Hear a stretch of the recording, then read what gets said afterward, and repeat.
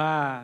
សូមស្វាគមន៍លោកអ្នកបងប្អូនសាជាថ្មីចូលមកក្នុងកិច្ចការបន្ទាប់ដែលយើងនឹងធ្វើជុំគ្នាជាមួយគ្នានៅក្នុងពេលបន្តិចទៀតនេះហើយខ្ញុំគិតថាលោកអ្នកបងប្អូននឹងចូលរួមហើយលោកអ្នកបងប្អូននឹងបានយល់កាន់តែច្បាស់ថែមទៀតផងដែរខណៈនេះផងដែរខ្ញុំសូមលោកអ្នកបងប្អូនដែលបានរៀបចំគេហដ្ឋានហើយលោកអ្នកបងប្អូនដែលបានរៀបចំឲ្យមានការជួបជុំគ្នានៅតាមក្រុមគ្រួសារឬក៏នៅតាមគេហដ្ឋានផ្សេងផ្សេងឬក៏តាមក្រុមជាលក្ខណៈតូចតូចផ្សេងផ្សេងលោកអ្នកបងប្អូនអាចចូលរួម comment នៅខាងក្រោមដោយដាក់ពាក្យថារៀបចំហើយហើយឬមួយប្រើពាក្យថាមានបាទដាក់តែប៉ុណ្្នឹងឯងខ្ញុំសូមលោកអ្នកបងប្អូនបានធ្វើកិច្ចការនេះជាមួយគ្នាមួយផ្លេតមុនពេលយើងចូលទៅក្នុងកម្មវិធីបន្ទាប់របស់យើងបាទសូមជម្រាបម្ដងទៀតដែរសម្រាប់លោកអ្នកបងប្អូនដែលកំពុងតែនៅកេហដ្ឋាន រៀបចំការជួបជុំគ្នាឬមួយនៅកន្លែងណាផ្សេងដែលមានក្រុមគ្រួសារឬមួយក៏ក្រុមកោសិកាឬក៏ប្រធានបណ្ឌកិច្ចឬមួយក៏ក្រុមតូចតូចដែលជួបជុំគ្នាដើម្បីអបអរសាទរណូអែលគ្រួសារជីវិតថ្មីជាមួយគ្នាសូមដាក់ពាក្យនៅខាងក្រោមដាក់ពាក្យថាមានបាទបាទខ្ញុំកំពុងតែមើលហើយបាទមានលោកអ្នកបងប្អូនបានដាក់ថាបាទរៀបចំឲ្យឲ្យលោកគ្រូបាទអរគុណច្រើនបាទសុខហៀងច្រកបាទសុខហៀងច្រកបាននិយាយថាមានបាទ ភិស័យបានដាក់ថាមានបាទអរគុណច្រើនហើយខ្ញុំបានឮថាលោកអ្នកបងប្អូនមួយចំនួនបានរៀបចំមុននេះហើយហើយខណៈពេលដែលមុនពេលយើងកំពុង live នេះលោកអ្នកបងប្អូនបានរៀបចំរួចទៅហើយបើសិនជាលោកអ្នកបងប្អូនរៀបចំហើយក៏អាចដាក់ថាមានបានដែរបាទបាទអេម៉ានូបាននិយាយថារួចហើយ បាទរៀបចំរួចហើយបាទមានរស្មីហងបាទបាទបាទអរគុណច្រើនលោកអ្នកបងប្អូនបាទ បាទខ្ញុំសូមសូមសួរសំណួរមួយទៀតដែរបាទប្រសិនបើលោកអ្នកបងប្អូន ជាសមាជិកក្រុមជំនុំជីវិតថ្មីនៅភ្នំពេញដាក់ក៏ដាក់ពាក្យថា PP បាទភ្នំពេញដាក់ថា PP បាទហើយបើនៅភ្នំពេញថ្មីដាក់ថា PTT បាទសូមសូមមេត្តាដាក់ comment នៅខាងក្រោមបាទ PPT បាទ PPT PPT បាទភ្នំពេញថ្មីបាទបាទ ហើយប្រសិនបើលោកអ្នកបងប្អូនមកពីខេត្តណាសូមដាក់ឈ្មោះខេត្តនោះបាទទាថាកំពង់ធំដាក់កំពង់ធំបាទហើយប្រសិនបើលោកអ្នកបងប្អូនមកពីខាងសៀមរាបដាក់ថាសៀមរាបបាទកុំសរសេរដាក់សៀរៀបដាក់សៀមរាបបាទបាទហើយលោកអ្នកបងប្អូនមកពីតកែវដាក់តកែវបើមកពីកដាលដាក់កដាលហើយសម្រាប់លោកអ្នកបងប្អូនដែលជាប្រិមិត្តគ្រួសារវិសុសុំតវិសុគ្រួសារសូមដាក់ថាវិសុគ្រួសារបាទបាទ ដើម្បីឲ្យលោកអ្នកបងប្អូនទាំងអស់គ្នានៅក្នុងនេះបានដឹងថាមានលោកអ្នកបងប្អូនប្រមាណអ្នកបានចូលរួមជាមួយយើងបាទអរគុណច្រើនឃើញមានច្រើនមែនទែនបាទបាទលោកអ្នកបងប្អូនដែលដាក់បេះដូងខ្ញុំដឹងថាចូលចិត្តប៉ុន្តែមិនដឹងមកពីទិសខាងណាទេបាទបាទបាទបាទពិតជាមានលោកអ្នកបងប្អូនជាច្រើនអ្នកបានចូលរួមជាមួយគ្នានៅល្ងាចនេះហើយខ្ញុំក៏សូមស្វាគមន៍លោកអ្នកបងប្អូនទាំងអស់គ្នាហើយក៏ចង់ណែនាំលោកអ្នកបងប្អូនទាំងអស់គ្នាឲ្យបានស្គាល់នៅខាងស្ដាំដៃខ្ញុំមានលោកគ្រូ Jason Prosser បាទ លោកគ្រូ Jason គឺជាក្រុមសមាជិកក្រុមអភិបាលនៃក្រុមជំនុំជីវិតថ្មីហើយក៏ជាគ្រូអធិប្បាយគ្រូបង្រៀនជាអ្នកដែលចូលរួមរៀបចំមេរៀនដើម្បីនឹងផ្ដល់អាហារខាងវិញ្ញាណទៅដល់សមាជិកក្រុមជំនុំជីវិតថ្មីផងដែរហើយបន្ទាប់មកមានលោកគ្រូគង់ម៉ារ៉ាលោកគ្រូជួយខាងផ្នែកពន្ធកិច្ចអភិពិពាជួយពង្រឹងចំណងអភិពិពាឲ្យមានសុខភាពល្អហើយនឹងពន្ធកិច្ចបរោះជួយឲ្យបរោះខ្លាយទៅជាបរោះ ដែលរស់នៅក្នុងព្រះរាជរបស់ព្រះជាម្ចាស់ក៏ជាគ្រូអធិប្បាយនៅក្នុងក្រុមជំនុំក៏ជាគ្រូដែលចូលរួមចំណែកនៅក្នុងការកសាងក្រុមជំនុំនៅក្នុងប្រជាណាចក្រកម្ពុជាផងដែរហើយនៅខាងឆ្វេងដៃខ្ញុំនេះមានអ្នកគ្រូណាវីខ្ញុំហៅថាអ្នកគ្រូអូនបាទបាទជាភរិយារបស់ខ្ញុំបាទផ្ទាល់បាទហើយបន្តមកទៀតមានលោកគ្រូហេងសុថាបាទ លោកគ្រូសុថាជាគ្រូកងវិលមួយរូបនៅក្នុងក្រុមជំនុំជីវិតថ្មីជាគ្រូខាងផ្នែកដែលសបផ្សាយដំណឹងល្អក្នុងការដាំក្រុមជំនុំក៏ជាសមាជិកអភិបាលក៏ជាគ្រូអធិប្បាយក្នុងក្រុមជំនុំដែរបាទហើយបន្ទាប់មកទៀតមានលោកគ្រូសែមសុភា ជាគ្រូកងវិលរៀមច្បងនៃក្រុមជំនុំជីវិតថ្មីភ្នំពេញថ្មីនៅជាមួយគ្នានៅល្ងាចនេះផងដែរហើយខ្ញុំពិតជាមានក្តីសោមនស្សរីករាយមែនទែន ដែលមានលោកអ្នកបងប្អូនមកពីគ្រប់ខេត្តក្រុងនៃប្រជាណាចក្រកម្ពុជាចូលរួមជាមួយគ្នាមិនថាលោកអ្នកបងប្អូននៅក្នុងគ្រួសារជីវិតថ្មីឬមួយក៏លោកអ្នកបងប្អូនដែលជាគ្រឹះបរិស័ទដែលជាអ្នកគោរពថ្វាយបង្គំព្រះអង្គដូចគ្នាហើយល្ងាចនេះផងដែរយើងនឹងបន្តស្វែងយល់ផ្សេងផ្សេងទៀតអំពីអឺ Noel ឬយើងហៅថាភាសាអង់គ្លេសហៅថា Christmas នៅក្នុងប្រជាជាតិកម្ពុជាយើងប្រើភាសាបារាំងហៅថា Noel ដូច្នេះខ្ញុំចង់អញ្ជើញលោកអ្នកបងប្អូនអរគ្នាឲ្យបន្តស្វែងយល់ថែមទៀតថាតើ Noel ឬក៏ Christmas នេះមានអត្ថន័យយ៉ាងណា យោងទៅតាមវប្បធម៌នីមួយនីមួយមានលក្ខណៈផ្សេងផ្សេងពីគ្នាបន្តិចអំពីការប្រារព្ធពិធី Noel នេះហើយយើងឃើញថាពិធី Noel នេះត្រូវបានប្រារព្ធឡើងស្ទើរតែគ្រប់ប្រទេសទាំងអស់នៅលើសកលលោកនេះដូច្នេះខ្ញុំក៏មានអភ័យឯកសិទ្ធពិសេសដែលមានលោកអ្នកបងប្អូនដែលជាគ្រូអធិប្បាយចម្រោះនៅទីនេះហើយមកពីវប្បធម៌ចម្រោះដែរដូច្នេះកិច្ចការមួយដែលយើងចង់ដឹងទាំងអស់គ្នាវប្បធម៌មួយយើងចង់ដឹងទាំងអស់គ្នានោះគឺថាតើពិធីគ្រីស្មាស់នេះនៅពេលដែលយើងភាកច្រើននៅពេលដែលយើងមើលរូបភាពផ្សេងផ្សេងឲ្យនិយាយរឿងគ្រីស្មាស់គឺមានព្រើ ហើយមានដើមណូអែលហើយមានភាពលក្ខណៈមួយយើងហៅថាពណ៌សមើលទៅដូចគួរឲ្យត្រជាក់ខ្លាំងមែនទែនដោយសាររូបភាពនេះភាគច្រើនឆ្លុះបញ្ចាំងពីវប្បធម៌ដែលមាននៅខាងលិចដែលលោកនៅខាងលិចគាត់ប្រារព្ធពិធីណូអែលបាទលោកលោកលោកដែលនៅខាងលិចគាត់ប្រារព្ធពិធីណូអែលឬពិធីគ្រីស្មាស់នេះក៏អាចមានលក្ខណៈផ្សេងពីលោកអ្នកបងប្អូនដែលគោរពប្រារព្ធពិធីណូអែលនេះនៅខានៅប្រទេសផ្សេងផ្សេងទៀតផងដែរប៉ុន្តែនៅថ្ងៃនេះយើងចង់ឮពីលោកគ្រូ Jason ដែលលោកគ្រូមកពីសហរដ្ឋអាមេរិកមានដើមកំណើតជាជនជាតិកាណាដាហើយលោកគ្រូក៏ប្រារព្ធពិធីបុណ្យណូអែលនេះជារៀងរាល់ឆ្នាំនៅក្នុងក្រុមគ្រួសាររបស់លោកគ្រូផ្ទាល់ផងដែរដូច្នេះយើងចង់ឮតើតើនៅលោកខាងលិចវប្បធម៌នៃការប្រារព្ធពិធីណូអែលនេះមានលក្ខណៈយ៉ាងដូចម្ដេចហើយលោកគ្រូនៅទីនេះក៏លោកគ្រូក៏ចេះភាសាខ្មែរដែរបាទដូច្នេះខ្ញុំសូមលោកគ្រូបានពន្យល់អំពីបទពិសោធន៍របស់លោកគ្រូផ្ទាល់អំពីណូអែលនៅក្នុងស្រុកកំណើតរបស់លោកគ្រូបាទសូមអរគុណច្រើនបាទអរគុណច្រើនលោកគ្រូសាមនីអរគុណច្រើន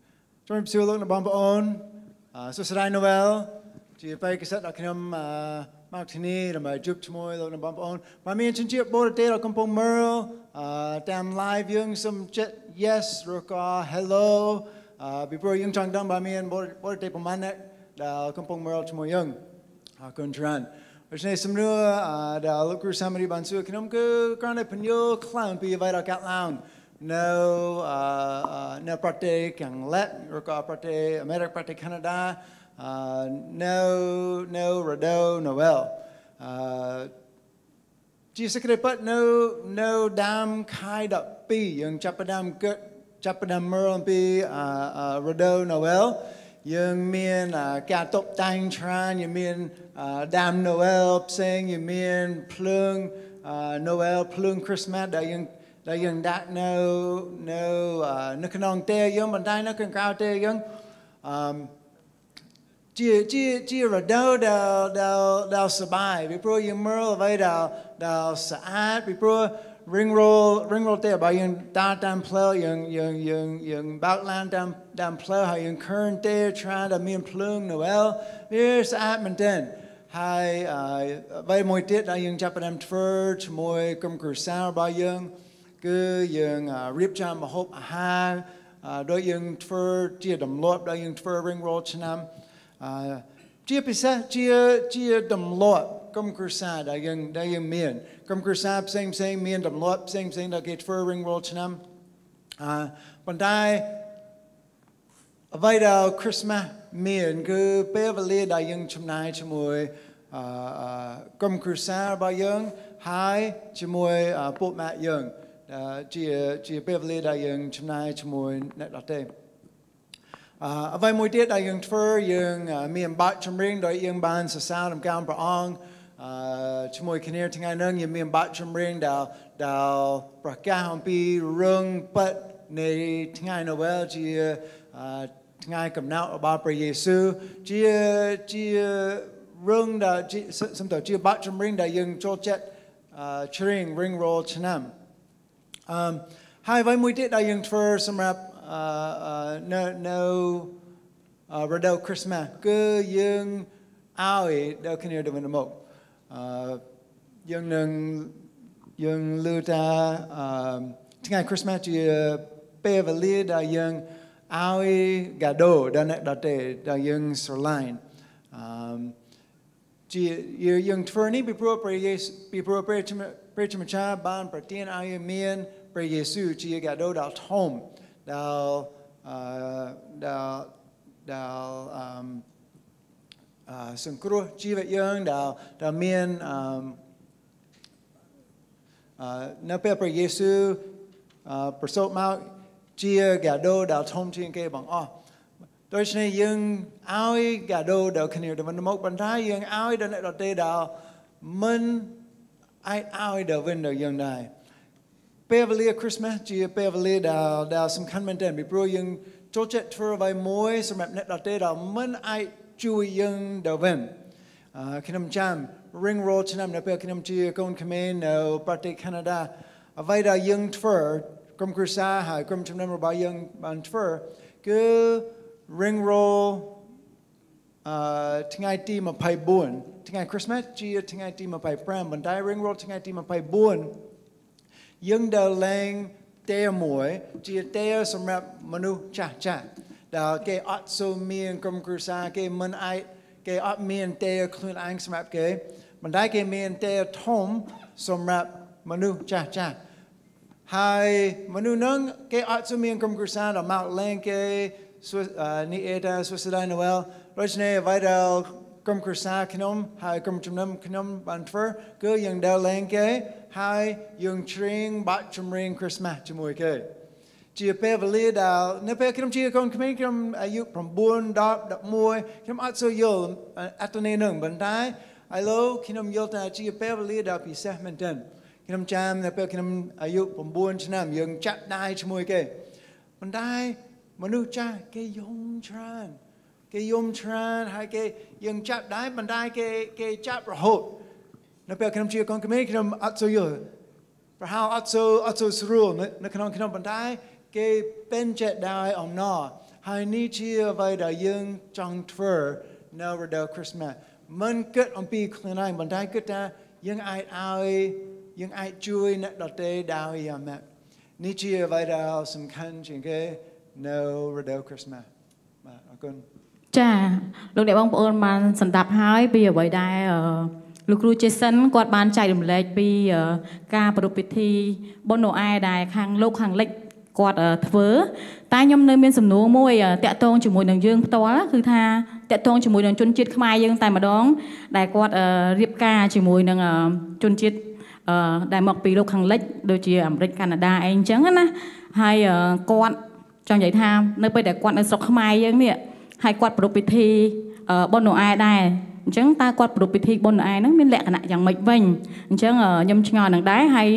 នៅទីនេះយើងក៏មានលោកគ្រូមារ៉ាដែរព្រោះអីគាត់ជនជាតិខ្មែរអញ្ចឹងណាហើយភរិយារបស់គាត់អាមេរិកាំងអញ្ចឹងពេលគាត់ប្រពៃពិធីហ្នឹងអឺគេប្រពៃពិធីយ៉ាងម៉េចគ្រួសារគាត់ហ្នឹងប្រពៃពិធីហ្នឹងយ៉ាងម៉េចដែរអញ្ចឹងលោកគ្រូមារ៉ាសូមជួយចែកចាយសម្រាប់បងប្អូនយើងទាំងអស់គ្នា បាទអរគុណច្រើនអ្នកគ្រូណាវីបាទ Merry Christmas ទៅដល់លោកអ្នកបងប្អូនទាំងអស់គ្នា ដែលបានទេសនាហើយចូលរួមអបអរសាទរនៅថ្ងៃបុណ្យណូអែលនេះផងសូមផ្ទះដៃមួយលោកអ្នកបងប្អូនទាំងអស់គ្នាសួស្តីណូអែលយេខ្ញុំចង់ប្រាប់អញ្ចេះ អ្នកគ្រូណាវីនៅទីនេះមិនមែនតែខ្ញុំទេណាដែលរៀបការមួយជនជាតិបរទេសនោះលោកគ្រូម្នាក់ពាក់អាវសនោះគ្រូភាបាទគ្រូភាប្រពន្ធគាត់ក៏បរទេសដែរបាទលោកអ្នកបងប្អូនខ្ញុំបានរៀបការជាមួយនឹងស្ត្រីជនជាតិបរទេសបាទជាអាមេរិកកាំងឲ្យគូភាក៏បានរៀបការជាមួយនឹងស្ត្រីអាមេរិកកាំងដែរលោកអ្នកបងប្អូនទាំងអស់គ្នា តាមមានអ្នកណាដែលក្នុងក្រុមគ្រួសាររបស់លោកអ្នកបងប្អូន ដែលជាស្វាមីឬក៏ភរិយាដែលជាអឺមាន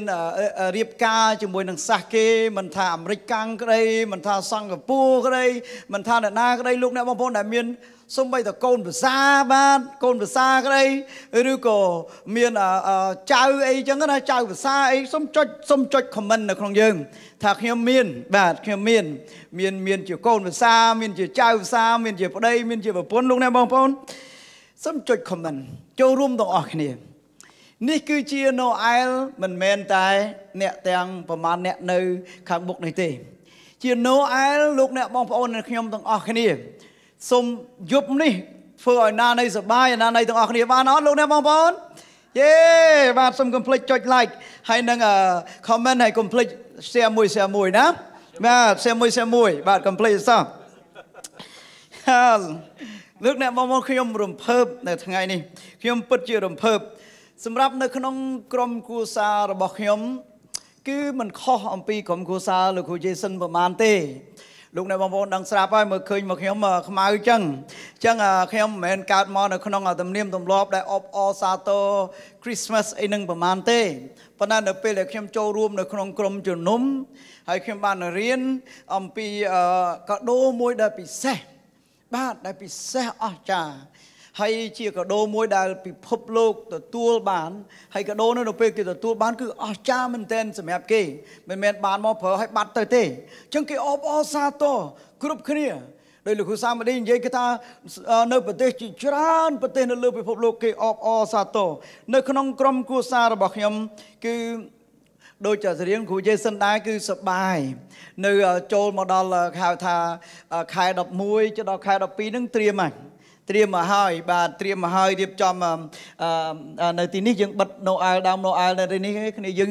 ឆ្លាតមិនសុំផ្ទះដៃមួយសម្រាប់អ្នកនៅក្នុងក្រុមជំនុំជីវិតថ្មីគេឆ្លាតមែនតើនេះមិនមិនចាំបាច់យកដើមមកដាក់នៅចង្អេងចង្ងាគាត់បិទនៅលើហ្នឹងហ្មងហើយផ្ទះខ្ញុំផ្ទះខ្ញុំមិនសូវសម្បូរអ្នកបាទកុំនិយាយប្រាប់កូនខ្ញុំណាហើយនឹងប្រពន្ធខ្ញុំមិនសូវអ្នកមានទេពកោសលអញ្ចឹងគាត់អាចចេះបាត់អញ្ចឹងផងគាត់យកដើមមកដាក់តាំងអញ្ចឹងណាបាទគាត់ដាក់តាំងមក គេដាំឈើពណ៌បៃតង បាទហើយបន្ទាប់មកយើងដាក់មានមានភ្លើងមានអីទាំងរំលេចមានគេហៅថារូបអីផ្សេងផ្សេងចឹងដែរក្មេងៗសប្បាយបាទក្មេងៗសប្បាយគាត់គាត់ចូលចិត្តហើយនៅរដូវនេះផងដែរនៅផ្ទះខ្ញុំ បាទសឹងតចូលទៅដល់ផ្ទះភ្លាមឮបទចម្រៀង Noel រហូតបាទច្រៀង Noel បាទព្រោះអីអបអសាទរ Noel ឬក៏អបអសាទរ Christmas បទចម្រៀងឮខាងក្រោមក៏ឮទៅខាងលើក៏ឮបាទឮបទ Christmas ច្រៀង Christmas ហើយលោកអ្នកបងប្អូននឹងមិនសំបីតែចូលក្នុងឡាន បាទជិះទៅឡាន Christmas ដែរអបអសាទរ Christmas ហើយកូនកូនខ្ញុំខ្ញុំមានកូន3នាក់ ហើយកូនខ្ញុំគាត់ចេះច្រៀងបទចម្រៀង Christmas ទាំងអស់គ្នាបទចម្រៀង Noel ទាំងអស់គ្នា នៅរដូវកាលនេះ ប្រពន្ធខ្ញុំផងដែរគាត់ក៏បង្រៀនកូនកូនឲ្យចេះច្រៀងបទចម្រៀងហើយគាត់ដើរពីផ្ទះមួយទៅផ្ទះមួយ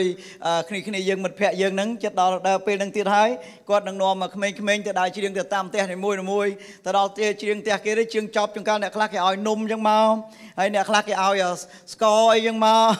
ហើយក្មេងៗសប្បាយគាត់បានទៅច្រៀងផងគាត់បាននំផងគាត់បានស្ករអីផងគាត់គាត់សប្បាយមែនទែននៅក្នុងក្រុមគ្រួសារខ្ញុំហើយអឺមួយទៀតផងដែរ អឺពួកយើងខ្ញុំក៏ជួយណែនាំកូនកូនខ្លះអានេះវាជាទម្លាប់បាទទម្លាប់របស់លោកខាងលិចហើយខ្ញុំចាប់ផ្ដើមទទួលទម្លាប់នេះបន្ទាប់ពីខ្ញុំស្គាល់អត្តន័យនៃ Noel ហ្នឹងឃើញគេប្ររពមិនមែនត្រឹមតែប្ររពទេឲ្យគាត់បានយល់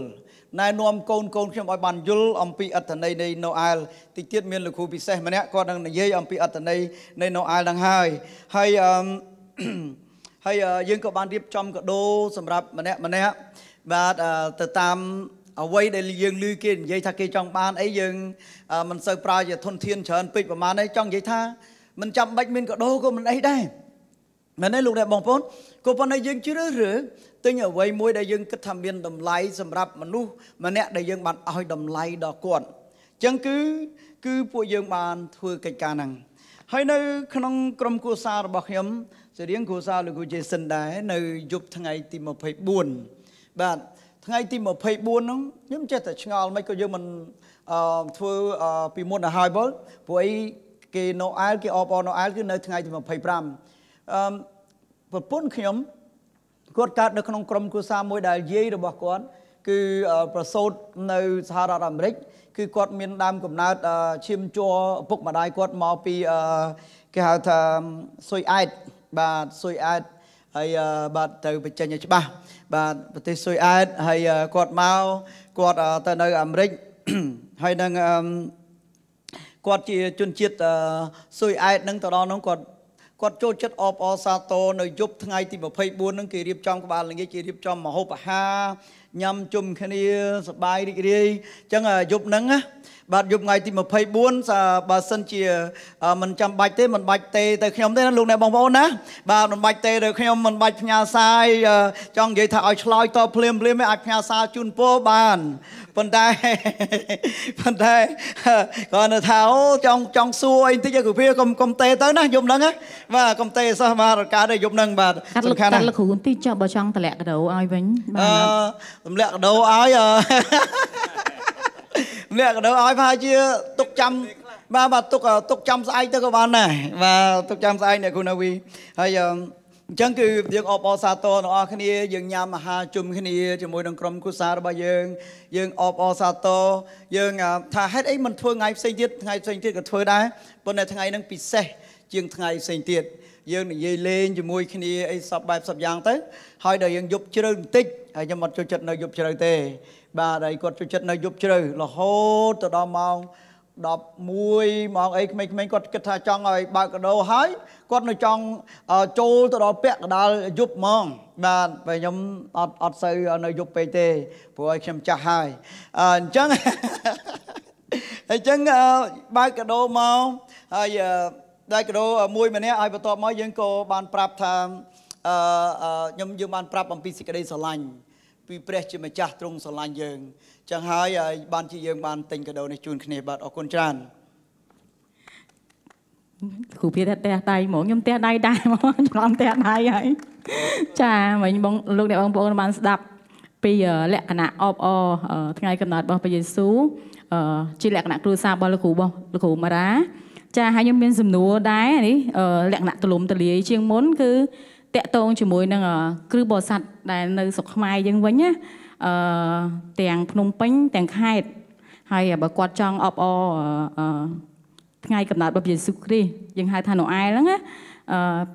ភាគច្រើនគេធ្វើលក្ខណៈយ៉ាងម៉េចវិញខ្ញុំបានចូលរួមខ្លះខ្លះហេភាគច្រើនតែនៅភ្នំពេញទេប៉ុន្តែខ្ញុំមានចម្ងល់ដែរហើយខ្ញុំចង់សួរទៅកាន់លោកគ្រូព្រោះអីលោកគ្រូគាត់មានបទពិសោធន៍លោកគ្រូសិដ្ឋាក៏មានបទពិសោធន៍តាក់ទងជាមួយនឹងបងប្អូនយើងដែលគាត់ប្រពៃពិធីនេះទាំងនៅភ្នំពេញទាំងនៅខេត្តក្តីអញ្ចឹងខ្ញុំចង់សួរលោកគ្រូផ្ទាល់សូមលោកគ្រូជួយណែនាំបន្ថែមជាដំបូងសូមជម្រាបសួរដល់បងប្អូនស្ងួនភ្ងាទាំងអស់ ដែលបានតាមតាមតាម live នៅថ្ងៃនេះហើយយើងរំពឹងថាអ្វីដែលយើងចែកចាយនេះជួយទៅដល់លោកអ្នកទាំងអស់គ្នាឲ្យលោកអ្នកយល់អំពីពិធីបុណ្យណូអែលដ៏ពិតប្រាកដសម្រាប់យើងទាំងអស់គ្នាហើយយើងទាំងអស់គ្នាយើងតែងតែប្រារព្ធពិធីបុណ្យណូអែលនៅខែ12ជាធម្មតារបស់យើង ប៉ុន្តែចំពោះជនជាតិខ្មែររបស់យើងភាគច្រើនអត់យល់អំពីអ្វីដែលជាណូអែលទេទោះបីជាគេដឹងប្រកាសថាណូអែលគឺជាបុណ្យកំណើតរបស់ព្រះយេស៊ូវគ្រីស្ទហើយគេអបអរណូអែលប៉ុន្តែការអបអររបស់មនុស្សគឺមានអឺមានគោលបំណងខុសៗគ្នានៅក្នុងការអបអរទាំងអស់នោះឯងអញ្ចឹងណាដូច្នេះយើងឃើញនៅក្នុងទីក្រុងភ្នំពេញមនុស្ស ភាកច្រើននៅទីក្រុងភ្នំពេញគេអបអរណូអែលពីហើយគេត្រៀមលុយទុកសម្រាប់រដូវណូអែលពីព្រោះរដូវណូអែលនោះគេអបអរណូអែលដោយសារតែហាងលក់ថោកអញ្ចឹងគេអបអរណូអែលជាមួយយើងដែរហាងទាំងអស់ដែលនៅនោះគេបញ្ចុះតម្លៃជួនកាលគេឲ្យអឺអំណោយឬក៏ថែមអ្វីមួយឲ្យអញ្ចឹងគេមានអំណរនៅក្នុងហ្នឹងដូច្នេះអំណរនៃបុណ្យណូអែលរបស់មនុស្ស ភាកច្រើនខ្លះគេអបអរដោយសារតែតម្លៃទំនិញចុះថោកបាទហើយតាមបណ្ដាខេត្តតាមបណ្ដាតាមទីក្រុងនៅបណ្ដាខេត្តក៏ដូចនោះដែរមានអ្នកខ្លះក៏អបអរតាមរបៀបនោះដែរហើយមានខ្លះអ្នកខ្លះទៀតអបអរបុណ្យអែលគេសบายចិត្តពេលដែលបុណ្យអែលម្ដងដងគេបានទៅក្រុមជំនុំ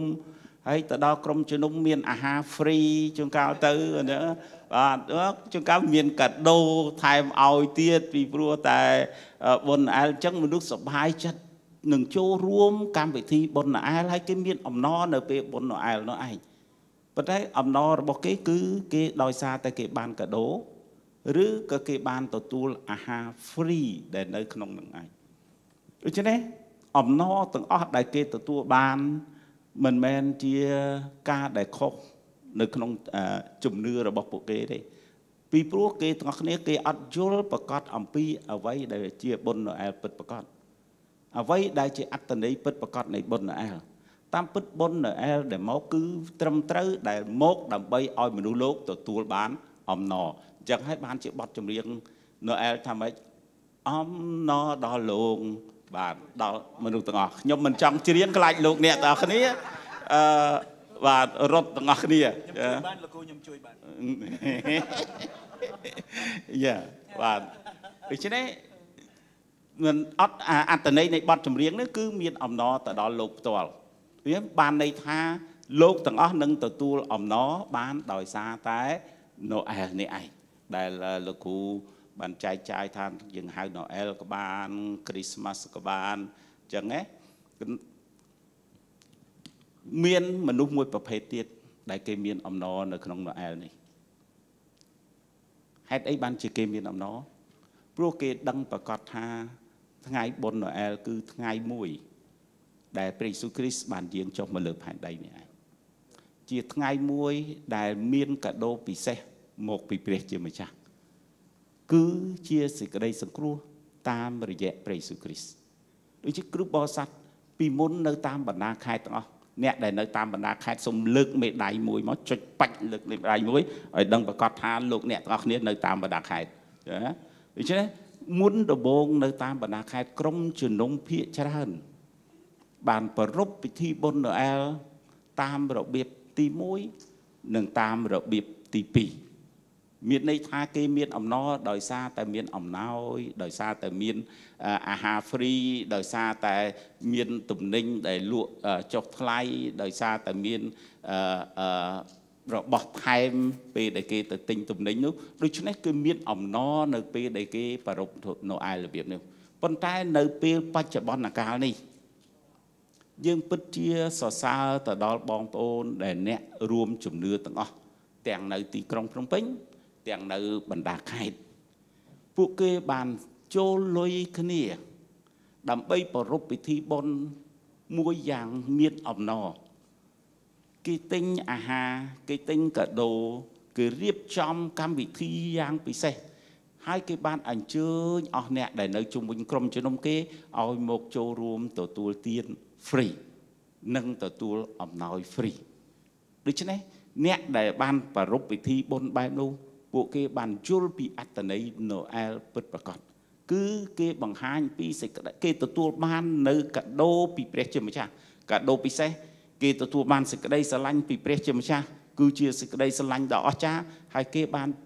ផ្ដល់កាដូផ្ដល់សេចក្តីស្រឡាញ់ទៅដល់អ្នកដតីផ្សេងទៀតដែលនៅជុំវិញគេ គឺដើម្បីឲ្យគេទាំងអស់គ្នាមានអំណរដូចយើងដែរ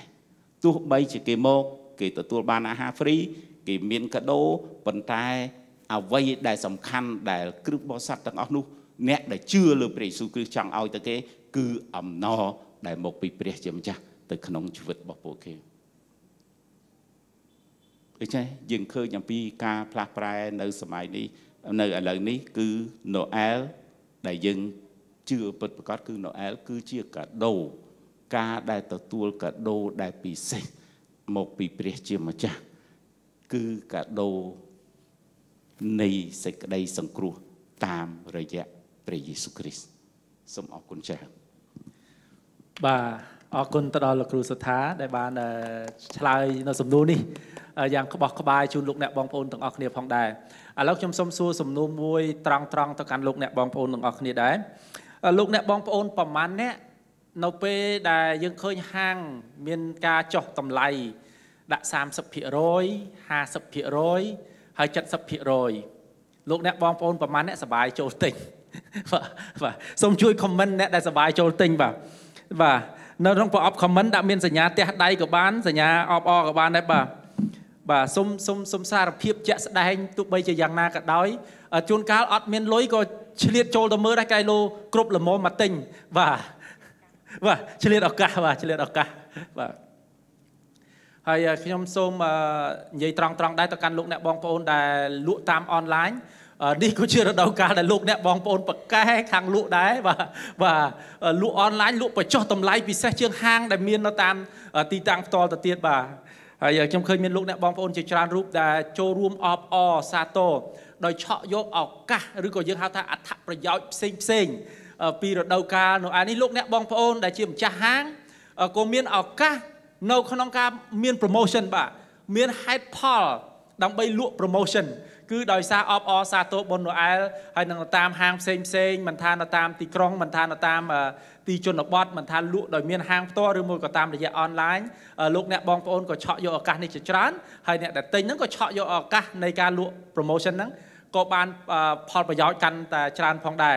ក៏ប៉ុន្តែយើងឃើញថាអត្តន័យដ៏ពិតនៃបុណ្យណូអែលឬក៏អត្តន័យដ៏ពិតនៃ បុណ្យគ្រីស្មាស់នេះគឺមានតែមួយទេមិនថានៅក្នុងឱកាសនេះមនុស្សអបអរសាទរជុំវិញពិភពលោកអបអរដោយសារមូលហេតុផ្សេងផ្សេងពីគ្នាក៏ប៉ុន្តែហេតុផលដ៏ពិតប្រាកដនោះគឺมันអាចមានច្រើនទេគឺមានតែមួយទេខ្ញុំនៅទីនេះខ្ញុំចង់អញ្ជើញលោកគ្រូសែមសុភាដែលជាលោកគ្រូគង្វារៀមច្បងនៃក្រុមជំនុំជីវិតថ្មីភ្នំពេញថ្មីដើម្បីចែករំលែកអំពីអត្តន័យដ៏ពិតដែលជាហេតុផល ដែលមនុស្សទូទាំងពិភពលោកអបអរសាទរបុណ្យណូអែលបាទសូមគោរពអញ្ជើញលោកគ្រូបាទសូមអរគុណលោកគ្រូសាមឌីអរគុណលោកគ្រូលោកគ្រូទាំងអស់ហើយក៏សូមជម្រាបសួរទៅដល់អស់លោកបងប្អូនទាំងអស់គ្នាដែលកំពុងទស្សនាចូលរួមជាមួយយើង ទាំងថ្វាយបង្គំទាំងសម្ដាប់នៅអ្វីដែលយើងបានចែកចាយកន្លងមក យើងបានចែកចាយកន្លងមកខ្ញុំឈ្មោះសែមសុភាខ្ញុំមកពីក្រមជំនុំជីវិតថ្មីភ្នំពេញថ្មីខ្ញុំនៅទីនោះបម្រើព្រះអង្គនៅទីនោះបាន15ឆ្នាំហើយហើយនឹងនៅបន្តយូរទៀតបាទបន្តយូរទៀតហើយខ្ញុំអរគុណព្រះជាម្ចាស់នៅឱកាសនេះដែលយើងអាចនិយាយជាមួយគ្នាសិក្សាជាមួយគ្នាតាក់ទងជាមួយនឹងណូអែលបាទណូអែលបាទអញ្ចឹងសូមលោកអ្នកអាចសរសេរនៅក្នុង comment ទម្លាក់ ពាក្យមួយនៅក្នុង comment នេះដាក់ថា Noel ជាភាសាអង់គ្លេសក៏ដោយសរសេរជាភាសាអីក៏ដោយដាក់ថា Noel បាទ Noel រីករាយថ្ងៃបុណ្យ Noel អាមែនរីករាយថ្ងៃបុណ្យ Noel ខ្ញុំចង់និយាយអំពីអត្តន័យ Noel នៅល្ងាចនេះហើយខ្ញុំចង់ចែកចាយតែ3ចំណុចទេទី1ខ្ញុំចង់និយាយអំពីពាក្យថា Noel តាមពិតពាក្យ Noel នេះមិនមែនជាភាសាខ្មែរទេ គឺជាពាក្យឬពាក្យកម្ចីដែលមកពីភាសាបារាំងដែលភាសាបារាំងសរសេរថា N O E L Noel ហើយ Noel នេះមានន័យថាកំណើតព្រះយេស៊ូវគ្រីស្ទពាក្យនឹងតែម្ដងមានន័យថាកំណើតព្រះយេស៊ូវគ្រីស្ទហើយពាក្យបារាំងចាស់គឺ Nael គឺសរសេរ N A L E N A E L បាទ Nael Nael នឹងជាពាក្យនៃភាសាបារាំងចាស់នឹងក៏មានន័យថាកំណើតរបស់ព្រះយេស៊ូវគ្រីស្ទដែរហើយឡាតាំងវិញគឺ Natalis Natalis នេះក៏មានន័យថាកំណើតរបស់ព្រះយេស៊ូវគ្រីស្ទភាសាអង់គ្លេស Christmas Christmas នេះគឺនិយាយអំពីកំណើតរបស់ព្រះយេស៊ូវគ្រីស្ទអបអរកំណើតរបស់ព្រះយេស៊ូវគ្រីស្ទអញ្ចឹងលោកអ្នកនិយាយថា Noel ក្តី ណាអែលក្តីណាតាលីសក្តីឬក៏គ្រីស្មាស់ក្តីពាក្យទាំងអស់នេះគឺមានន័យថាកំណើតព្រះយេស៊ូវគ្រីស្ទសរុបមកណូអែលគ្រីស្មាស់គឺសំដៅឬក៏ស្ដីអំពីកំណើតរបស់ព្រះយេស៊ូវគ្រីស្ទដែលជាព្រះ100%បានមកចាប់កំណើតជាមនុស្សនៅលើផែនដីជាង2000ឆ្នាំមុនហើយរហូតមកដល់ថ្ងៃនេះអ្នកដែលជឿលើព្រះយេស៊ូវអ្នកដែល គោរពបម្រើព្រះយេស៊ូវអ្នកដែលទទួលស្គាល់ព្រះយេស៊ូវគ្រីស្ទជាទូទៅគេគោរពឬក៏គេធ្វើបុណ្យណូអែលនេះហើយមានអត្តន័យជ្រាលជ្រៅនៅក្នុងជីវិតរបស់គេនេះចំណុចទី1ចំណុចទី2ខ្ញុំចង់និយាយអំពីហេតុអីបានជាព្រះយេស៊ូវទ្រង់ប្រសូតមកលើផែនដីហើយយើងប្រពធ្វើណូអែលនេះគឺរំលឹក តែម្ដងចំពោះខ្ញុំផ្ទាល់ពេលដែលខ្ញុំធ្វើពិធីណូអែលបុណ្យណូអែលឬក៏រដូវណូអែលមកដល់គឺវារំលឹកមកដល់ខ្ញុំអំពីចំណុចមួយអំពីសេចក្តីមួយ គឺរំលឹកអំពីសេចក្តីស្រឡាញ់របស់ព្រះជាម្ចាស់ដែលមានចំពោះមនុស្សលោកអញ្ចឹងណូអែលគឺស្ដីអំពីសេចក្តីស្រឡាញ់របស់ព្រះជាម្ចាស់ចំពោះមនុស្សលោកនៅក្នុងព្រះគម្ពីរយូហានចំពុកទី3ខទី16បានចែងថា ព្រះជាម្ចាស់ស្រឡាញ់មនុស្សលោកខ្លាំងណាស់ ហេតុនេះហើយបានជាព្រះអង្គប្រទានព្រះរាជបុត្រាតែមួយអង្គគត់របស់ព្រះអង្គឲ្យមក ដើម្បីឲ្យអស់អ្នកណាដែលជឿលើព្រះរាជបុត្រានោះមានជីវិតអស់កលជានិច្ចហើយមិនត្រូវវិនាសឡើយហេតុអីបានជាព្រះប្រទានព្រះរាជបុត្រាឲ្យមកពិភពលោកនេះគឺដោយព្រោះព្រះអង្គស្រឡាញ់ហើយកម្រិតនៃសេចក្តីស្រឡាញ់របស់ព្រះអង្គម្ចាស់នោះគឺណាស់បាទគឺណាស់ព្រះជាម្ចាស់ស្រឡាញ់មនុស្សលោកខ្លាំងណាស់បានជាព្រះអង្គប្រទានព្រះរាជបុត្រារបស់ព្រះអង្គម្ចាស់តែមួយគត់ទៀត ឲ្យមកលើលោកនេះដើម្បីឲ្យអស់អ្នកណាដែលជឿលើព្រះរាជបុត្រានោះមានជីវិតអស់កលជានិច្ចអញ្ចឹងរដូវណូអែលដូចជាលោកគ្រូជេសិនលោកគ្រូម៉ារ៉ាលោកគ្រូសុថាគាត់បានជម្រាបមកពីខាងលើគឺជាទូទៅគឺ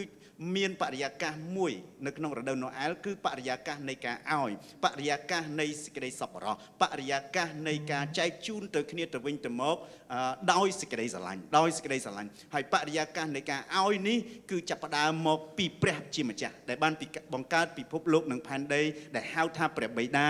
ព្រះអង្គប្រទានព្រះរាជបុត្រាព្រះអង្គឲ្យព្រះបុត្រាតែមួយរបស់ព្រះអង្គម្ចាស់ម្ចាស់ឲ្យឲ្យមកលើផែនដីនេះដោយព្រោះព្រះអង្គ ទ្រង់ស្រឡាញ់អញ្ចឹងព្រះរាជបុត្រារបស់ព្រះអង្គគឺជាកដោធំជាកដោតាំងពីអឺកដោវិសេសតាំងពីដើមមកហើយនឹងជាកដោវិសេសជានិច្ចតរៀងទៅ ជាកដោតែមួយគត់ធំជាងគេសម្រាប់មនុស្សលោក គឺព្រះរាជបុត្រារបស់ព្រះបិតារបស់ព្រះជាម្ចាស់ដែលបង្កើតពិភពលោកនិងផែនដី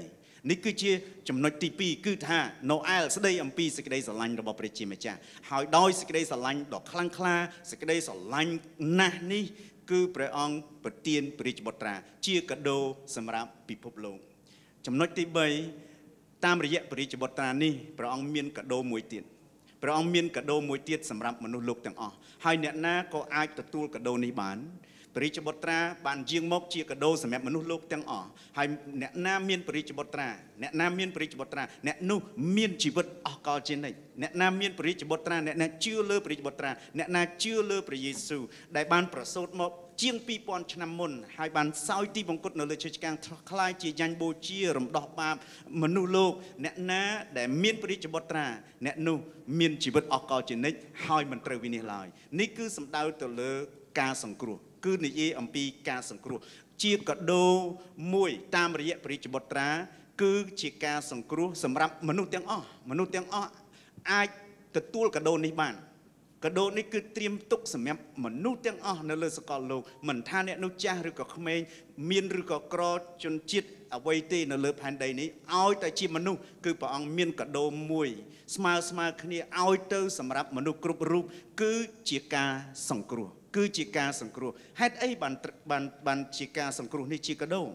ពីព្រោះនៅក្នុងព្រះគម្ពីររ៉ូមចំពុក3ខទី23បានចែងប្រាប់ថា គ្រប់គ្នាសុទ្ធតែបានប្រព្រឹត្តអំពើបាប ហើយខ្វះមិនដល់ខ្វះទៅដោយសេរីរុងរឿងរបស់ព្រះជាម្ចាស់គ្រប់គ្នាមានបាបពីកំណើតហើយដោយនិស័យបាបពីកំណើតនេះគឺអំពើអាក្រក់ អឺអំពើអំពើអ្វីដែលមិនល្អដែលទាស់នឹងព្រះハតីព្រះជាម្ចាស់គឺចេះដោយឯងគឺកើតចេញដោយឯងផុសចេញមកដោយឯងនៅក្នុងជីវិតមនុស្សនឹងតែម្ដងហើយនៅក្នុងរ៉ូមជំពូកទី6ខទី23បានចែងប្រាប់ថាលទ្ធផលនៃអំពើបាបគឺសេចក្តីស្លាប់លទ្ធផលនៃអំពើបាបសេចក្តីស្លាប់មនុស្សទាំងអស់មានអំពើបាបពីកំណើត ហើយសេចក្តីអាក្រក់កើតចេញមកជាផលផ្លែបង្ហាញប្រាប់យើងថាយើងពិតជាមានបាបមែនមនុស្សពិតជាមានបាបមែនហើយហើយលទ្ធផលនៃអំពើបាបគឺសេចក្តីស្លាប់ទីបំផុតគឺនឹងស្លាប់ទាំងរូបកាយទាំងវិញ្ញាណនេះជាលទ្ធផលនៃអំពើបាបហើយអស់កលជានិច្ចតែម្ដងប៉ុន្តែ ព្រះអង្គឃើញយ៉ាងដូចនេះដោយព្រះハត្តីស្រឡាញ់របស់ព្រះអង្គព្រះអង្គស្រឡាញ់មនុស្សលោកខ្លាំងណាស់បានជាព្រះអង្គប្រទានព្រះរាជបុត្រាដើម្បីឲ្យអស់អ្នកណាមានព្រះរាជបុត្រានោះមានជីវិតអស់កលជានិច្ចហើយមិនត្រូវវិនិច្ឆ័យឡើយមិនត្រូវស្លាប់អស់កលជានិច្ចមិនត្រូវវេទនាអស់កលជានិច្ចនោះឡើយប៉ុន្តែមានផ្លូវចេញគឺតាមព្រះរាជ តាមព្រះរាជបុត្រាហើយនេះគឺជាកដោគឺដើម្បីសង្គ្រោះមនុស្សលោកការសង្គ្រោះនេះគឺជាកដោតាមរយៈព្រះរាជបុត្រាតាមរយៈព្រះយេស៊ូវគឺមានសម្រាប់មនុស្សគ្រប់គ្រប់រូបតែម្ដង នៅក្នុងព្រះគម្ពីរនៅក្នុងព្រះគម្ពីរអេពីសូតចំពុកទី2ខទី8បានចែងថា ព្រះជាម្ចាស់សង្គ្រោះយើងសង្គ្រោះមនុស្សលោកដោយសារព្រះគុណតាមរយៈជំនឿ គឺមិនមែនដោយសារអំពើល្អទេ ដើម្បីកុំឲ្យមាននរណាអួតខ្លួនបានព្រះជាម្ចាស់សង្គ្រោះមនុស្សលោកដោយសារព្រះគុណនិងជំនឿពាក្យថាព្រះគុណនេះភាសាអង់គ្លេសថា grace grace បើភាសា Greek ថា charis ហើយ charis នេះបកអត្តន័យមកជាភាសាអង់គ្លេសក៏ដោយភាសាខ្មែរក៏ដោយភាសាខ្មែរថាកាដូឬក៏ gift ភាសាដែលយើងប្រើសម្រាប់ព្រះជាម្ចាស់គឺព្រះអំណោយទាន ចឹងព្រះជាម្ចាស់សង្គ្រោះមនុស្សលោកដោយសារព្រះអំណោយទានមានន័យថាព្រះអង្គឲ្យការសង្គ្រោះអាមែនជាព្រះគុណគឺជាកាដូហើយកាដូនេះមានសម្រាប់មនុស្សទាំងអស់ប៉ុន្តែដោយសារព្រះគុណដោយសារអំណោយទានដោយសារកាដូប៉ុន្តែតាមរយៈជំនឿតាមរយៈជំនឿអញ្ចឹងព្រះជាម្ចាស់សង្គ្រោះមនុស្សលោកដោយសារព្រះគុណតាមរយៈជំនឿតលតែមានជំនឿទើបអាចទទួលកាដូនោះបានទោះបីជាកាដូនេះត្រៀមទុកមានសម្រាប់មនុស្សគ្រប់រូបក៏ដោយ ប៉ុន្តែកាដូនេះគឺអាចទទួលបានតាមរយៈជំនឿជំនឿលើតួអង្គព្រះយេស៊ូវគ្រីស្ទដែលជាព្រះរាជបុត្រានៃព្រះអ្នកណាមានព្រះរាជបុត្រាអ្នកនោះមានជីវិតអកលជានិច្ចហើយមិនត្រូវវិនាសឡើយអាមែនអឺនេះគឺជាអត្តន័យ3យ៉ាងដែលខ្ញុំទទួលបាន អំពីណូអែលហើយពេលដែលខ្ញុំប្រពធ្វើបុណ្យណូអែលពេលណូអែលមកដល់គឺជាឱកាសដែលខ្ញុំរំលឹកអំពីសេចក្តីស្រឡាញ់របស់ព្រះជាម្ចាស់សម្រាប់ខ្ញុំហើយសេចក្តីស្រឡាញ់របស់ព្រះជាម្ចាស់សម្រាប់ខ្ញុំនោះគឺណាស់ព្រះជាម្ចាស់ស្រឡាញ់ខ្ញុំណាស់បានជាព្រះអង្គប្រទានព្រះរាជបុត្រាមកឲ្យខ្ញុំ ដើម្បីឲ្យខ្ញុំជឿលើព្រះរាជបុត្រាហើយមានជីវិតអស់កលជានិច្ចមិនត្រូវវិនាសឡើយមិនត្រូវវិនាសឡើយមានជីវិតអស់កលជានិច្ចហើយនេះគឺជាដំណឹងល្អ នេះគឺជាដំណឹងល្អសម្រាប់លោកអ្នកសម្រាប់គ្រួសាររបស់ខ្ញុំសម្រាប់ជនជាតិទាំងអស់នៅលើសកលលោកគឺជាដំណឹងល្អហើយខ្ញុំនឹកចាំអំពីដំណឹងល្អនេះពេលដែលអឺពេលដែលនៅនៅនៅជុំវិញស្ថានភាពនៃកំណើតរបស់ព្រះយេស៊ូវ ជុំវិញកំណើតរបស់ព្រះយេស៊ូវគឺមានព្រឹត្តិការណ៍ជាច្រើនហើយខ្ញុំចង់និយាយអំពីព្រឹត្តិការណ៍ពីរព្រឹត្តិការណ៍ទី1គឺព្រះអង្គបញ្ជូនទេវតាកាព្រីអែលទៅជួបស្ត្រីក្រមុំព្រហ្មចារីម្នាក់ឈ្មោះថាមេរីដែលត្រូវជាគូដណ្ដឹងរបស់លោកយូសែបហើយហើយពេលដែលព្រះអង្គទៅជួបស្ត្រីឈ្មោះថាមេរីនេះគឺអឺតាមរយៈទេវតាកាព្រីអែលចូលទៅដល់នាងរន្ធត់ខ្លាំងមែនទែនប៉ុន្តែ ប៉ុន្តែទេវតានិយាយទៅកាន់មេរីនៅលូកាចំពុកទី1ថាអឺអឺសុំសុំកំភៃខ្លាចអីសុំកំភៃសុំកំភៃខ្លាចអ្វីឡើយព្រះជាម្ចាស់គប់ប្រហារតីនឹងនាងហើយ នាងនឹងមានគួរសម្រាប់បុត្រមួយហើយនាងថ្វាយនាមទៅដល់បុត្រនោះថាយេស៊ូវព្រះជាម្ចាស់គប់ប្រហារតីនឹងនាងព្រះជាម្ចាស់គង់នៅជាមួយនាងហើយ ហើយដំណឹងល្អនេះដំណឹងនេះដែលទេវតាប្រាប់ទៅដល់ការប្រាប់ទៅដល់នាងមេរី គឺទេវតាចាប់ផ្ដើមថាចាប់ផ្ដើមថាកុំខ្លាចអីព្រះជាម្ចាស់ក៏ប្រហាត់តីនឹងនាងហើយព្រះជាម្ចាស់គង់នៅជាមួយនាង ហើយព្រឹត្តិការណ៍ទី2គឺបន្ទាប់ពីព្រះយេស៊ូវប្រសូតហើយព្រះអង្គអឺអឺជាទារកហើយពេលនោះទេវតាការព្រីអែលនឹងដដែលលិចនឹងបង្ហាញខ្លួនឲ្យ ឲ្យអ្នកកងវិលជាច្រើន ដែលកំពុងតែខ្វៀលជាមនៅទីវាលស្មៅនេះនៅក្នុងព្រះគម្ពីរលូកាចំពុកទី2ហើយពេលដែលទេវតាបង្ហាញខ្លួនទៅដល់អឺទៅដល់ទៅដល់អ្នកកងវិលជាមនោះគេភ័យគេខ្លាចហើយមានពន្លឺចែងចាំងហើយគេខ្លាចហើយពាក្យដំបូងដែលទេវតានិយាយទៅកាន់អ្នកកងវិលជាមទាំងអស់នោះគឺទេវតានិយាយថា កុំខ្លាចអីខ្ញុំនាំដំណឹងល្អមកជម្រាបប្រាប់អ្នករាល់គ្នា ដំណឹងល្អនោះគឺព្រះសង្គ្រោះរបស់អ្នករាល់គ្នា បានប្រសូតហើយហើយប្រសូតនៅក្នុងភូមិបេតលេហឹមព្រះយេស៊ូវប្រសូតមកជាព្រះអង្គសង្គ្រោះទេវតាថាកុំខ្លាចអីខ្ញុំនាំដំណឹងល្អមកប្រាប់អ្នករាល់គ្នា ដំណឹងល្អនោះគឺព្រះសង្គ្រោះរបស់អ្នករាល់គ្នា បានប្រសូតហើយបានប្រសូតហើយលោកអ្នក ពេលខ្ញុំលើដំណឹងល្អដំបូងពេលគេប្រាប់ខ្ញុំអំពីព្រះយេស៊ូវគ្រីស្ទ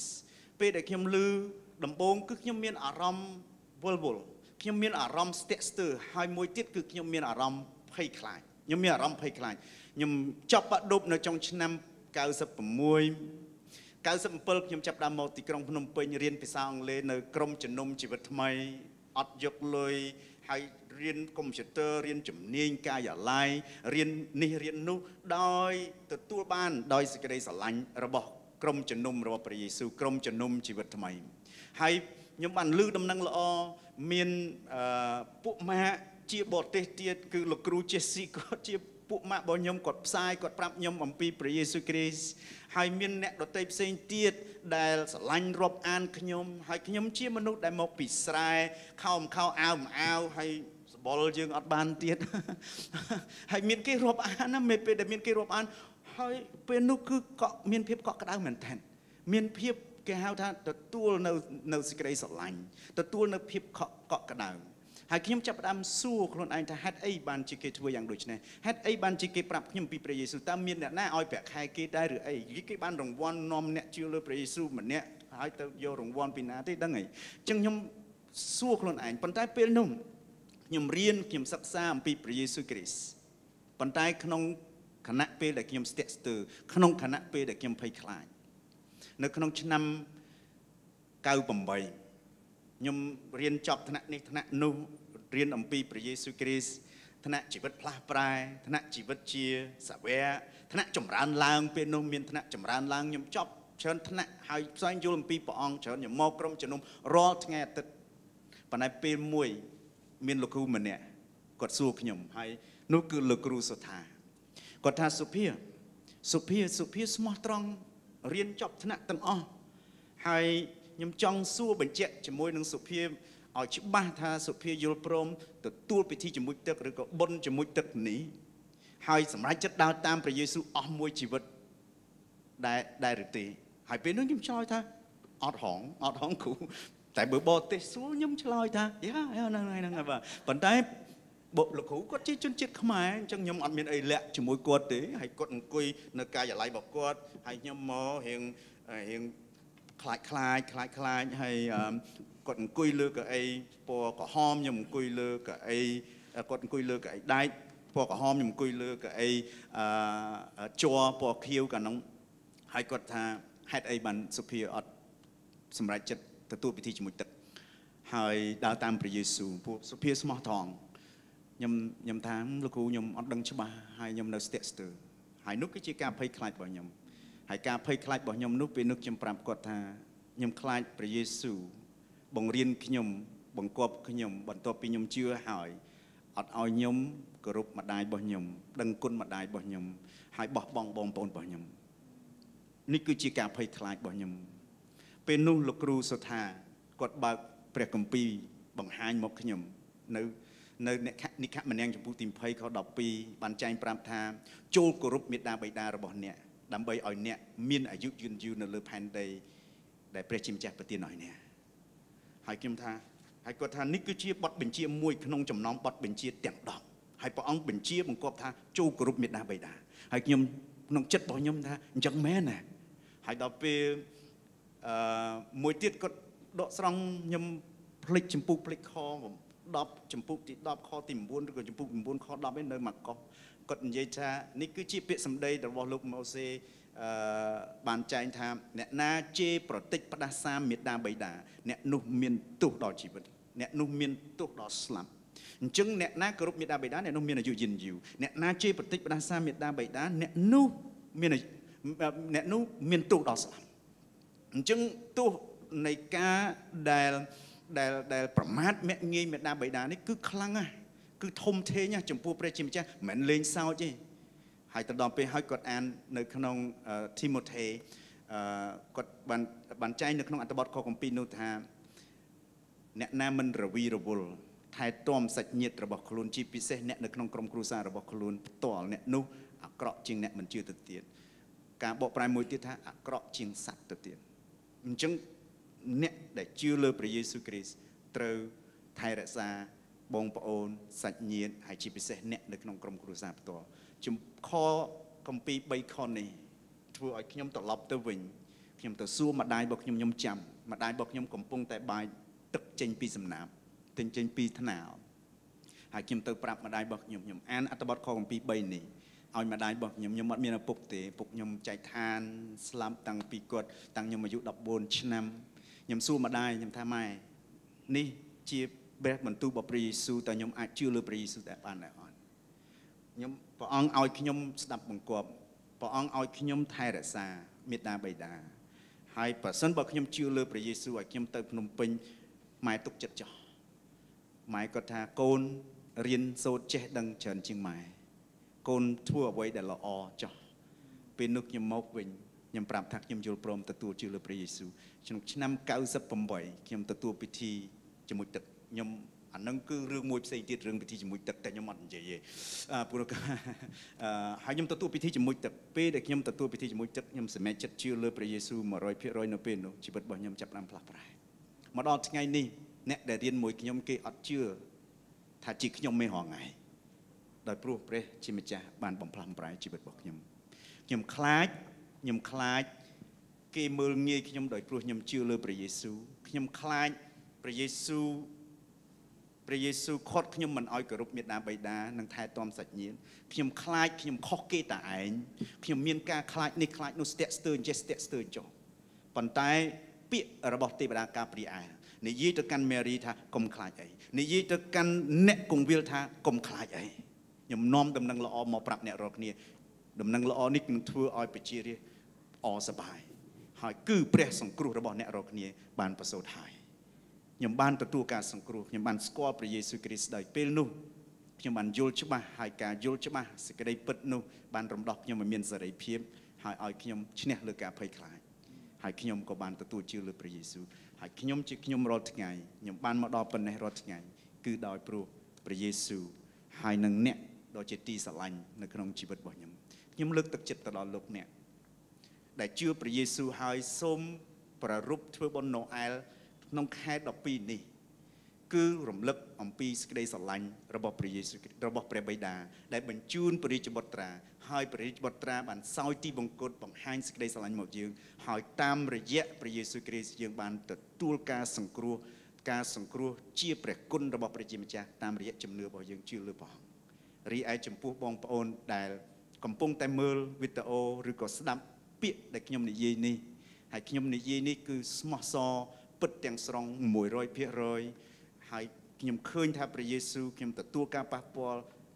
ព្រះយេស៊ូវដោយព្រះយេស៊ូវព្រះអង្គពិតជាព្រះដែលមានបច្ចុប្បន្នគង់នៅ ហើយព្រះអង្គពិតជាមានអំណាចបំផ្លាស់បំប្រែជីវិតរបស់ខ្ញុំបានធ្វើឲ្យជីវិតរបស់ខ្ញុំមាននូវសេចក្តីសង្ឃឹមមាននៅអនាគតនៅក្នុងជីវិតរបស់ខ្ញុំមែន ហើយនេះគឺជាអត្តន័យណូអែលណូអែលគឺស្ដីអំពីសេចក្តីស្រឡាញ់របស់ព្រះជាម្ចាស់ចំពោះមនុស្សលោកសូមព្រះជាម្ចាស់ប្រទានពរបាទអរគុណច្រើនទៅដល់លោកគ្រូសុភាហើយនេះហើយដែលយើងហៅថាដំណឹងល្អព្រះសុគ្រីស្ទព្រះអង្គហៅកិច្ចការនេះថានេះគឺជាដំណឹងល្អមកដល់មនុស្សជាតិជាដំណឹងនៃការសង្គ្រោះជាជំនួយ ដែលមកពីព្រះជាម្ចាស់ជួយទៅដល់មនុស្សជាតិទាំងអស់ ទៅដល់លោកអ្នកបងប្អូនហើយនឹងខ្ញុំឲ្យរួចផុតពីថ្លៃនៃអំពើបាបឲ្យរួចថ្លៃឲ្យរួចចេញផុតពីនឹមនៃអំពើបាបនៃតនកម្មនៃកម្មពៀផ្សេងផ្សេងព្រះអង្គមានព្រះបន្ទូលថាតាមរយៈការសុគតរបស់ព្រះអង្គព្រះអង្គជំរះបញ្ជីទាំងអស់នោះជំនួសលោកអ្នកបងប្អូនហើយនឹងខ្ញុំរួចរាល់ហើយដូច្នេះលោកអ្នកបងប្អូនហើយនឹងខ្ញុំអាចមានសេរីភាពចេញពីបំណុលនៃអំពើបាប ដែលថ្លៃនៃអំណុលបំណុលនៃអំពើបាបនោះគឺសេចក្តីស្លាប់ តែព្រះអង្គព្រះអង្គយើងមកដើម្បីឲ្យយើងបានមានជីវិតហើយជាជីវិតអស់កលជាជានិច្ចមិនត្រឹមតែប៉ុណ្ណោះជាជីវិតដែលគ្រប់លក្ខណៈជាជីវិតដែលបំពេញទៅដោយជំនួយដែលមកពីព្រះអង្គសម្រាប់លោកអ្នកបងប្អូនហើយនិងខ្ញុំខណៈពេលដែលយើងនៅមានជីវិតរស់នៅលើផែនដីនេះនៅឡើយយើងឃើញអំពីដំណឹងល្អពេលខ្លះដំណឹងល្អមានច្រើនដូចខ្ញុំបានជម្រាបថារដូវកាលណូអែលឬក៏ចុងឆ្នាំខែ12នេះដែលប្រារព្ធពិធីគ្រីស្មាស់នេះនៅតាមបណ្ដាហាងតាម កន្លែងផ្សេងផ្សេងទាំងភោជនីយដ្ឋានយើងឃើញថាមានការចោះតម្លៃពិសេសហើយនេះក៏ជាដំណឹងល្អដែរក៏ប៉ុន្តែដូចខ្ញុំជម្រាបជូនលោកអ្នកបងប្អូនមួយចំនួនថាពេលខ្លះដំណឹងល្អនេះមិនមែនសម្រាប់មនុស្សគ្រប់រូបទេពីព្រោះអ្នកខ្លះមានលុយទិញបានអ្នកខ្លះអត់មានលុយទិញបាន គេបញ្ចុះតម្លៃរហូតដល់70%សល់តែ30%ប៉ុណ្ណោះហើយ30%ហ្នឹងក៏នៅតែថ្លៃសម្រាប់លោកអ្នកបងប្អូនហើយនឹងខ្ញុំដែរនៅមានតំណែងមួយចំនួនទោះបីយើងថាអឺនេះជាដំណឹងល្អមែនទែន ប៉ុន្តែអត់មានលទ្ធភាពទិញបានក៏ប៉ុន្តែ សម្រាប់ដំណឹងល្អនៃការសង្គ្រោះវិញ សម្រាប់ដំណឹងល្អអំពីព្រះយេស៊ូវគ្រីស្ទដែលព្រះអង្គបាននាំកាដូមកកាន់លោកអ្នកបងប្អូនហើយនឹងខ្ញុំវិញមិនថាមិនថាយើងស្ថិតនៅក្នុងវណ្ណៈណាមិនថាយើងស្ថិតនៅក្នុងស្ថានភាពនៃឋានៈប្រភេទណាមិនថាយើងជាជនជាតិណាមិនថាយើងមានពណ៌សម្បុរណា ឲ្យតែយើងជាមនុស្សជាតិឲ្យតែយើងជាមនុស្សលោកនេះគឺជាអំណោយដ៏ថ្លៃថ្លាបំផុត សម្រាប់មនុស្សលោកទាំងអស់ដូច្នេះលោកអ្នកបងប្អូនហើយនឹងខ្ញុំអាចទទួលដំណឹងល្អនៃការសង្គ្រោះនេះឲ្យរួចថ្លៃពីអំពើបាបនេះហើយឲ្យមិនត្រឹមតែប៉ុណ្ណោះទទួលជំនួយពីព្រះអង្គសម្រាប់ជីវិតប្រចាំថ្ងៃរបស់យើងសម្រាប់ ជំនួញរបស់យើងសម្រាប់ជីវិតអាពាហ៍ពិពាហ៍របស់យើងសម្រាប់ជីវិតជាយុវវ័យសម្រាប់ផ្នែកកិច្ចការផ្សេងផ្សេងទៀតនៃគ្រប់ផ្នែកនៃជីវិតរស់នៅរបស់យើងព្រះសុគ្រីស្ទព្រះអង្គមានព្រះបន្ទូលថាព្រះអង្គក៏ប្រហារតីជួយលោកអ្នកបងប្អូនហើយនឹងខ្ញុំហើយលោកអ្នកបងប្អូនហើយនឹងខ្ញុំជាមនុស្សពិសេស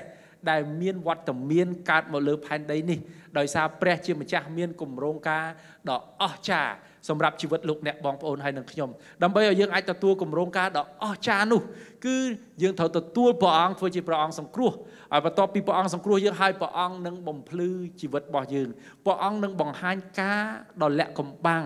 ដែលព្រះអង្គបានមានសម្រាប់លោកអ្នកបងប្អូននិងខ្ញុំយើងហៅថាគម្រោងការដ៏អស្ចារ្យសម្រាប់ជីវិតរបស់យើងម្នាក់ម្នាក់ដែលទទួលបានពីព្រះជាម្ចាស់ខ្ញុំលើកទឹកចិត្តលោកអ្នកបងប្អូនអរគ្នាថា ប្រហែលជាយើងទទួលអំណោយឬកាដូពីមិត្តភ័ក្តិបងប្អូនក្រុមគ្រួសារក៏ប៉ុន្តែខ្ញុំអាចសុំលោកអ្នកបងប្អូននៅល្ងាចនេះដើម្បីពិចារណានៅក្នុងការទទួលកាដូដ៏វិសេសបំផុត គឺព្រះអំណោយដ៏ថ្លៃថ្លាមកពីព្រះជាម្ចាស់គឺការដែលយើងទទួលព្រះយេស៊ូវគ្រីស្ទធ្វើជាព្រះអង្គម្ចាស់នៃជីវិតរបស់យើងទទួលព្រះអង្គធ្វើជាព្រះសង្គ្រោះឲ្យរួចផុតពីអំពើបាបនៃជីវិតរបស់យើងដើម្បីឲ្យយើងបានរួចផុតពីចំណងនៃកម្មពៀផ្សេងផ្សេង ហើយមិនត្រឹមតែប៉ុណ្ណោះក្នុងព្រះគម្ពីរបានចែងថានៅពេលដែលយើងទទួលព្រះអង្គព្រះអង្គបានលាងជំរះអំពើបាបយើងហើយនៅពេលដែលយើងបាត់បង់វត្តមានពីផែនដីនេះនៅពេលដែលយើងលាចាកពីលោកនេះ យើងនឹងទៅនៅជាមួយព្រះអង្គអស់កលជានិច្ចហើយខ្ញុំដឹងថាមិនមែនមានន័យថានៅពេលដែលយើងទទួលជឿព្រះអង្គហើយយើងត្រៀមថ្ងៃនោះមកដល់នោះទេក៏ប៉ុន្តែនៅពេលយើងទទួលព្រះអង្គហើយយើងក៏បានទទួលជីវិតថ្មី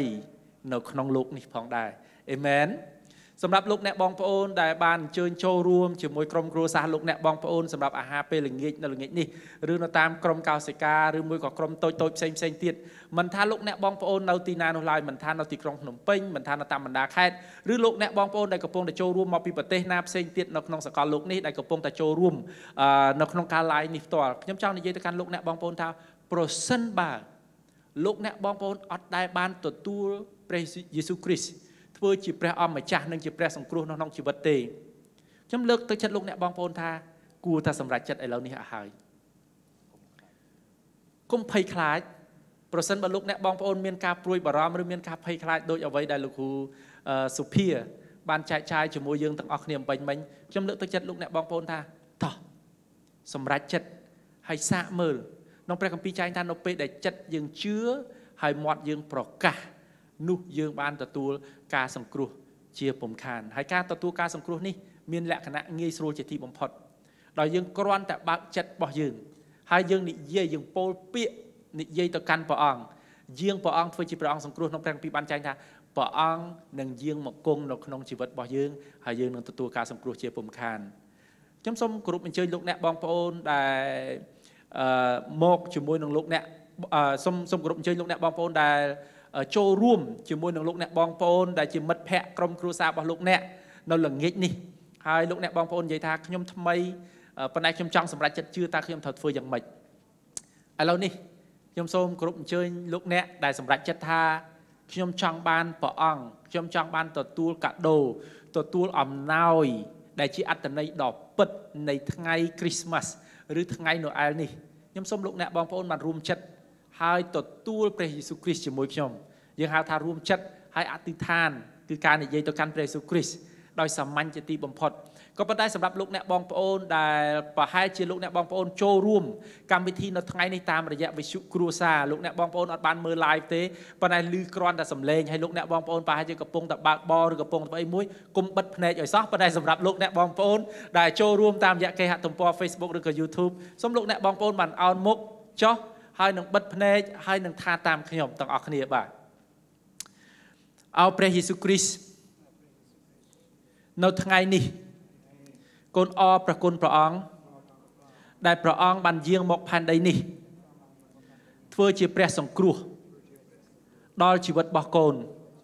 អោព្រះជាម្ចាស់ហើយកូនអរប្រគុណទ្រង់សម្រាប់អំណោយដ៏ថ្លៃថ្លា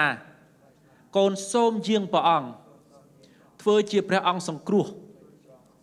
និងជាព្រះអម្ចាស់ក្នុងជីវិតរបស់កូន នៅថ្ងៃនេះ ដោយក្នុងព្រះនាមព្រះអម្ចាស់ព្រះយេស៊ូវគ្រីស្ទហើយលោកអ្នកបងប្អូននិយាយថាអេមែនពាក្យអេមែននេះមានន័យថាឲ្យបានសម្រេចយ៉ាងដូចនេះចោះ